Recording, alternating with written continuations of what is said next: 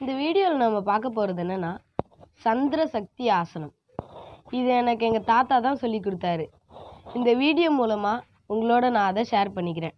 இந்த ஆசனத்தை செஞ்சால் உடல் நலம் மற்றும் மனநலம் ஒரே சமயத்தில் சீராகுதுன்னு சொல்கிறாரு நாம் பெரிய நோய்கள்னு எதெல்லாம் நினச்சிட்டு இருக்கோமோ அதெல்லாம் கூட இந்த ஆசனம் செஞ்சால் குணமாகிடும்னு சொல்கிறாரு அதாவது கண்டினியூஸாக டெய்லி காலையில் மாலையிலன்னு பதினஞ்சு பதினஞ்சு நிமிஷம் செஞ்சால் போதும். நோயின் தீவிரத்தை பொறுத்து குறிப்பிட்ட காலத்தில் பூர்ணமாக குணமடைஞ்சிடலாம்னு சொல்கிறாரு குழந்தைங்களோட புத்தி கூர்மை ஞாபக சக்தி கூடுதுன்னு சொல்கிறாரு எப்படியோ எப்பொருள் யார் யார் வாய் கேட்பினும் அப்பொருள் மெய்ப்பொருள் காண்பது அறிவு. செஞ்சு பாருங்க. ப்ராக்ரஸ் தெரிஞ்சால் கண்டினியூ பண்ணுங்க. காசா பணமா? இந்த ஆசனத்தோட பேர் எங்கள் தாத்தாவுக்கு தெரியல. அதனால் இந்த ஆசனத்துக்கு பெயரை நானே வச்சுட்டேன்.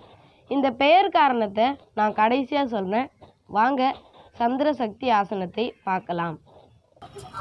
ஃபஸ்ட்டு நீங்கள் ஏதாவது ஒரு கம்ஃபர்டபுளான பொசிஷனில் உட்காந்துக்குங்க. எப்படி வேணால் உட்காந்துக்கலாம்.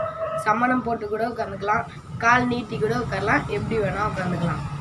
அடுத்து சம்மணம் போட்டு உட்காரும் போது அதுலேயும் பத்மாசனம் பொசிஷனில் உட்காந்துருந்தா இன்னும் சூப்பர் அது ஒன்றும் இல்லை கால்கள் இப்படி லாக் ஆகி இருக்கும். நம்ம ஆழ்ந்த தியானத்தில் இருக்கும்போது மேக்சிமம் ஸ்டெபிலிட்டி கிடைக்கும். நம்ம ஆழ்ந்த தியானத்தில் இருக்கும்போது நம்மளை மீறி கால்களை பிரிக்க மாட்டோம்.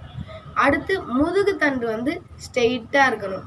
எப்படி உச்சி வெயிலில் சூரியகாந்தி பூ ஸ்ட்ரெயிட்டாக இருக்கோ அதை மாதிரி.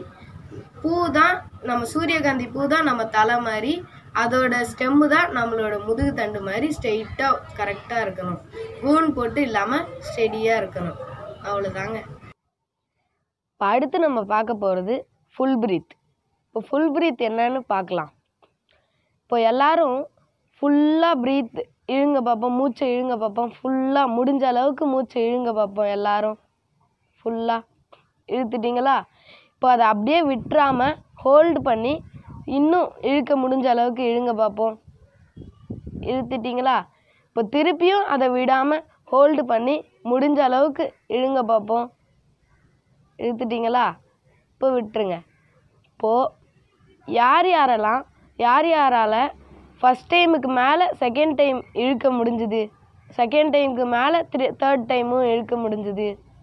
சொல்லுங்கள் இப்போது நான் ஒன்று சொல்கிறேன் நல்லா கேட்டுக்கோங்க. ஃபஸ்ட் டைமுக்கு மேலே யார் யாராலலாம் செகண்ட் டைம் இழுக்க முடிஞ்சதோ அவங்க செஞ்சது வந்து தப்பு. ஏன்னா ஃபஸ்ட் டைமுக்கு இழுக்கும் போதே ஃபுல் ப்ரீத்தாக நம்ம இழுத்துருக்கணும். அரைகுறையாக இழுக்காமல் ஃபுல் ப்ரீத்தாக நம்ம ஃபஸ்ட் டைமே இழுத்துருக்கணும். ஸோ அடுத் அப்போது செகண்ட் டைம் இழுக்கும்போது உங்களுக்கு இடமே இருக்காது. ஸோ நீங்கள் ஃபஸ்ட் டைம் இழுக்கும் போதே ஃபுல்லாக இழுத்துருக்கீங்கன்னு அர்த்தம். நீங்கள் பாதியாக இழுத்துருந்தீங்கன்னா செகண்ட் டைமும் இழுக்க முடியும். அதனால் இனிமேல் நம்ம ப்ரீத்திங் இது பண்ணோனாலே ஃபுல் ப்ரீத்தாக மட்டும்தான் இருக்கணும். இப்போ இந்த தியானத்தை உங்களுக்கு புரிய வைக்கிறதுக்காக இந்த பலூனை வச்சு நான் உங்களுக்கு எக்ஸ்பிளைன் பண்ணுறேன் இப்போ நான் அதை ஊதுறேன். இப்போ காற்றை நிரப்பிட்டேன். இப்போ பொறுமையாக விடுறேன். இப்போ திருப்பி நான் ஊதுறேன்.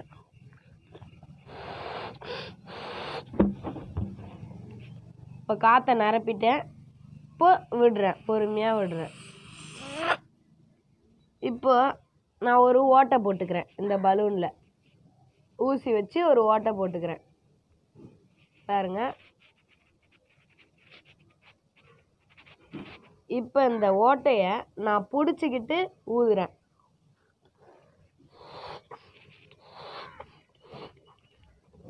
இப்போ ரெண்டுத்தையும் பொறுமையாக விடுறேன்.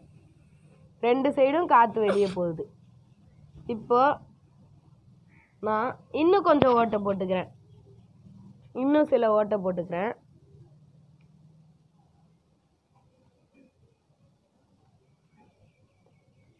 இப்போ இந்த ஓட்டைங்களை பிடிச்சிக்கிட்டு ஊதுறேன்.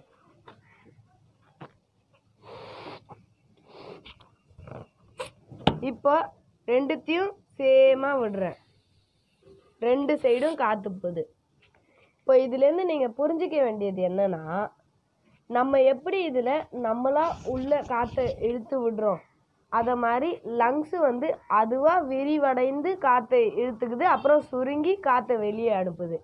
அதை மாதிரி நம்ம ஃபுல் பிரீத் எடுக்கும்போது இந்த ஃபுல் பிரீத் எடுத்துட்டு திருப்பி விடும்போது நம்ம லங்ஸை சுற்றி பலாயிரம் ஓட்டை இருக்கா மாதிரி நினச்சிக்கிட்டு அந்த ஓட்டை அந்த துவாரங்கள் வழியாக வெளியே வர மாதிரி அந்த உறுப்புங்களுக்கு எல்லாத்துக்கும் வெளியே போகிற மாதிரி நினச்சிக்கிட்டு விடணுங்க. காற்றை ஃபுல் பிரீத் இழு இழுத்துட்டு ஃபுல்லாக ஃபுல் பிரீத் இழுத்துட்டு அடுத்து விடும்போது அத்தனை பலாயிரம் ஓட்டை இருக்கிறதா நினச்சிக்கிட்டு விடணும்.